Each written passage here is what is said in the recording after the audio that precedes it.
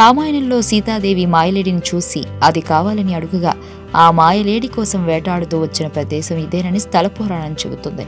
అందుకే ఈ క్షేత్రాన్ని లేడి బండ అని కూడా అంటారు. మరి ఈ ఆలయం ఎక్కడ ఉంది? ఈ ఆలయ స్థల పురాణం ఏంటో మనం ఇప్పుడు తెలుసుకుందాం. తెలంగాణ రాష్ట్రం జనగాం జిల్లా లింగాల ఘనపూర్ మండలం జనగాం నుండి పదిహేను కిలోమీటర్ల దూరంలో జీడికల్ అనే గ్రామం కలదు. ఇచ్చట రెండు కిలోమీటర్ల దూరంలో ఉన్న పెద్ద రాయి మీద రెండు నీటి గుంటలున్నాయి.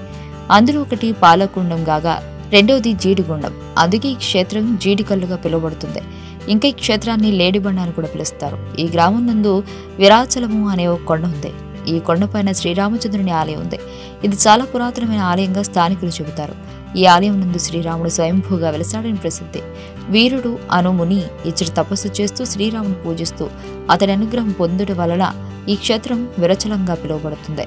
ఇచ్చడు పద్మాసనంలో వెలసి ఉన్న స్వామివారిని విరాచల రామచంద్రుడు అని పిలుస్తారు.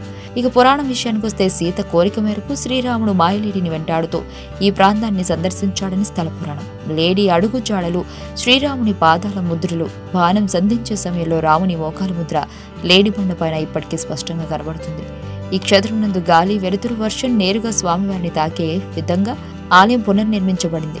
ఇచ్చట మూల విరాటు అయిన శ్రీరామచంద్ర స్వామివారు ఉత్తరముఖంగా భక్తులకు దర్శనమిస్తాడు. స్వామివారికి ముందు భాగం రామగుండం కలదు ఇక్కడ విశేషం ఏంటంటే సీతారాములకు సంవత్సరంలో రెండుసార్లు అనగా శ్రీరామనవమి మరియు కార్తీక మాసంలో కళ్యాణం జరగడం విశేషం. అంతేకాకుండా కార్తీక మాసం నందు పౌర్ణమి నుంచి ఏకాదశి వరకు ఇక్కడ పెద్ద జాతర జరుగుతుంది. ఈ విధంగా రాముడు మాయలేడి కోసం వేటాడుతూ వచ్చిన ఈ ప్రదేశంలోని ఆలయానికి అధిక సంఖ్యలో భక్తులు వచ్చి స్వామి దర్శనం చేసుకుంటారు.